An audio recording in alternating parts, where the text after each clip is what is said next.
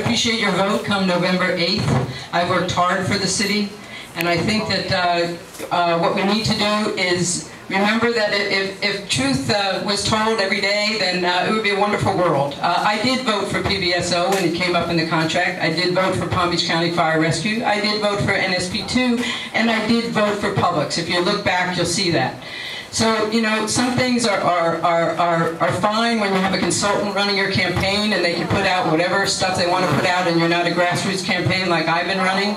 And I think it's important that you all look up my record, that you all look up me up on uh, my website is uh, Jo Ann Golden, www.joannegolden.com, and you can follow me on Twitter, and you can call me anytime, day or night. I get lots of calls at 3 o'clock in the morning. Uh, 628-7592. That's 628-7592. And thank you very much.